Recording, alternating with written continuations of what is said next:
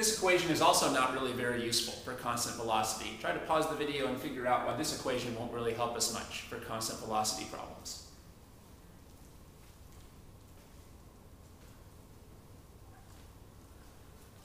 Well, again, the problem is that the acceleration is zero.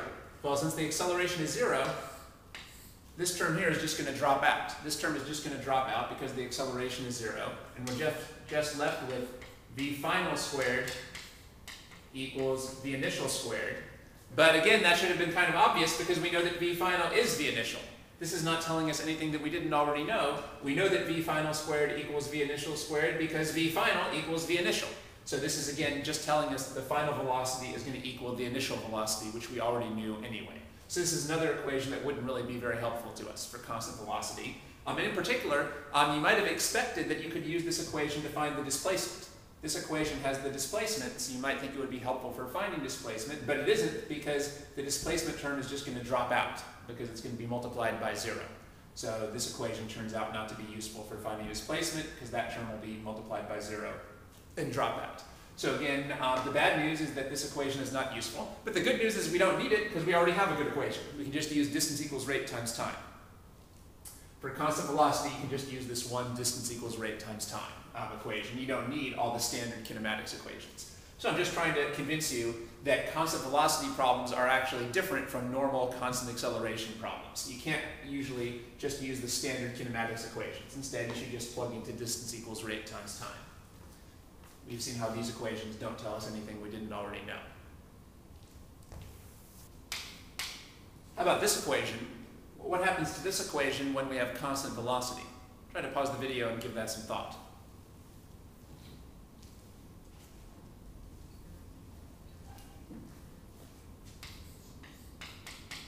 Well, remember that we don't really need separate symbols for the initial and final velocity anymore. We can just call both of them velocity. We can use the same symbol for the initial and the final velocity since they're going to be the same as each other.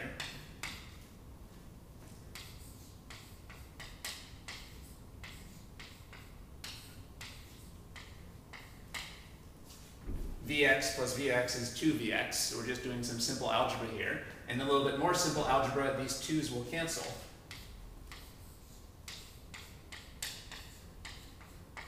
And here's the equation that we end up with. Uh, but this is just our distance equals rate times time equation. We already knew that anyway. So again, the standard kinematics equation is not really um, too helpful. Uh, I guess you could use it, um, but why bother? Why not just go straight to the simple equation, distance equals rate times time? This should uh, make good sense to us here. Remember that this term here in parentheses, we've already discussed this um, a long time ago in these videos, we know that this term in parentheses is just telling you the average velocity. If you take the initial velocity and the final velocity and you add them together and divide by 2, uh, well, for constant acceleration, that just gives you the average velocity. So this is just saying that the distance equals the average velocity times the time.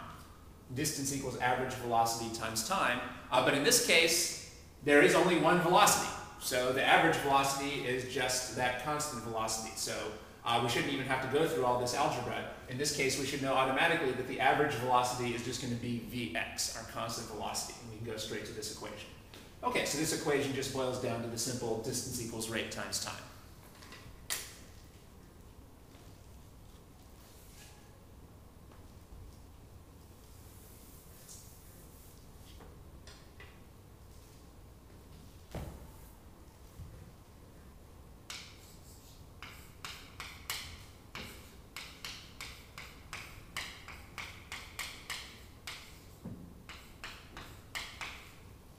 Try to work, what, work out what's going to happen uh, if we try to use this equation for a constant velocity problem.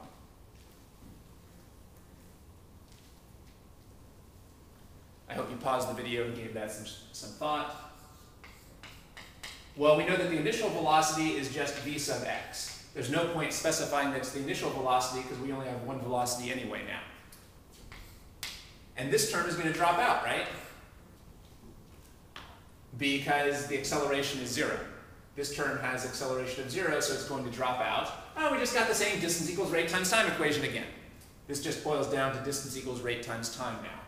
Um, all right, so again, what I'm trying to convince you of is that for constant velocity problems, it doesn't make sense to treat a constant velocity problem uh, in terms of the standard kinematics equations. Some of the kinematics equations won't work, and the equations that do work are just going to give you this simple formula that you can just start with anyway. When you're doing constant velocity, you might as well just start with this simple formula over here. Um, and uh, if you know two of these variables, you can find the third one. Incidentally, this maybe will give us uh, a little bit more um, intuition to what this equation meant in the first place. Um,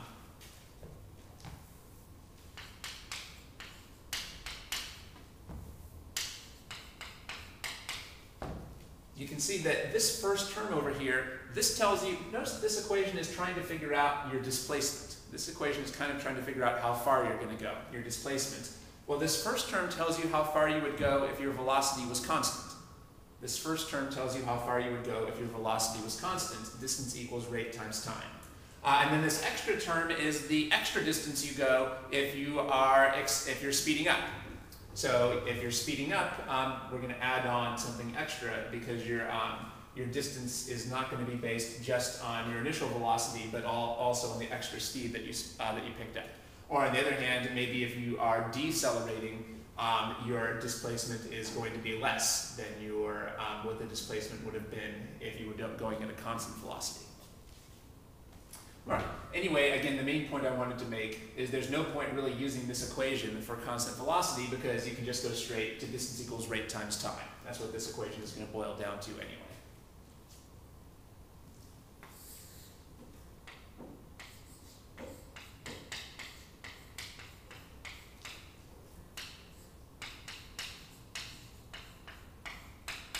Here's the final kinematics equation. We haven't really used this very much, uh, but I hope you can see that this equation is not going to be um, all that helpful to us either for kinematics, or it's not going to tell us anything that we couldn't get from here. Maybe pause for a second and ask, what, does, what happens to this equation when you have constant velocity? Well, is this going to give you this again? So instead of saying v final, we can just say v because there is no difference between v final and v initial when you have constant velocity. And then this term is going to drop out again because it has an acceleration of zero. And again, we got back to distance equals rate times time.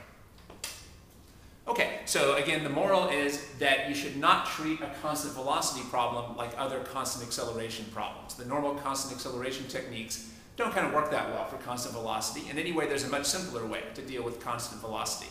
When your velocity is constant, you can just plug directly into our distance equals rate times time equation, or displacement equals velocity times time. Um, it doesn't help to really think in terms of the standard kinematics equations. Um, because some of the standard kinematics equations are just going to give you the same distance equals rate times time. And we saw that some of the other standard kinematics equations um, um just tell you what we already knew, which is that the velocity is not going to change. So again, the point is, if you're dealing with a constant velocity problem, don't try to use the standard kinematics equations. Just say to yourself, I can just say that with constant velocity, um, the displacement just equals the constant velocity times the time. Displacement equals rate times time. Again, this is worth being very clear about because this actually is a very important situation that comes up for any two-dimensional projectile motion problem. Anytime you're doing two-dimensional projectile motion, your horizontal velocity will be constant. And then you can say that your horizontal displacement equals your horizontal velocity times your time. Uh, so this is something that's going to be very important for problem solving purposes.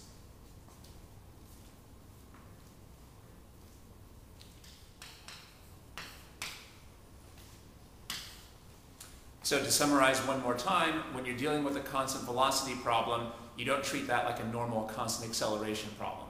Uh, what are the differences? Uh, well, the first difference is that you don't need to distinguish between the initial and the final velocity. It, with a constant velocity, the initial and the final velocity are the same, so you can just call them the velocity. Uh, and we know that for a constant velocity, your acceleration is going to be zero. That's really part of the definition of acceleration. Uh, and then most important, um, don't worry about the standard five kinematics equations. When you're dealing with constant velocity, we don't think in terms of the standard five kinematics equations. We can just use the very simple equation displacement equals velocity times time. That kind of means distance equals rate times time. And if you know any two of these variables, you can find uh, the third one. Notice that we're not actually going to use the acceleration to solve problems about velocity. Um, it's, it's helpful to notice that the acceleration is going to be zero here, but that doesn't plug in directly into this formula. Uh, so we're not actually going to plug that in uh, to this formula. Uh, so we need to have two of these variables in order to find the third one. Just knowing the acceleration is zero doesn't help us. Um, so we need to know two of these variables in order to find the third one. We're not going to plug the acceleration of zero directly into here because the um, there is no acceleration term in this simple equation.